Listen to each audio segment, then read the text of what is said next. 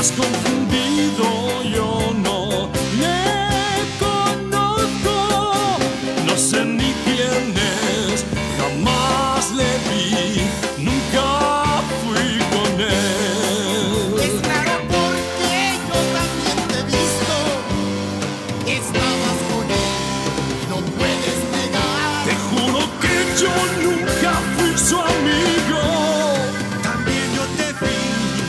Estabas allí. ¡No le conozco!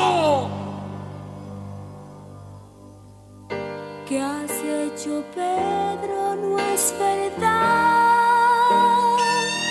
Le acabas de negar. Tenía miedo a hablar de